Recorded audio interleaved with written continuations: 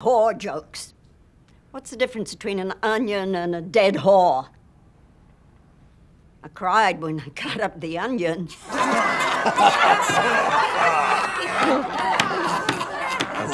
Very good, Eleanor. Why was there 4,000 Mexicans at the Alamo?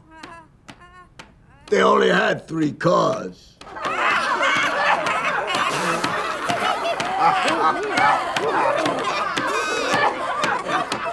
What's the difference between a homo and a refrigerator?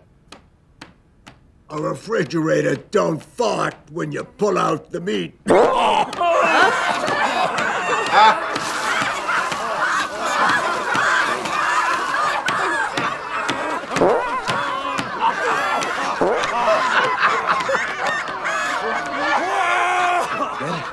think we're done here.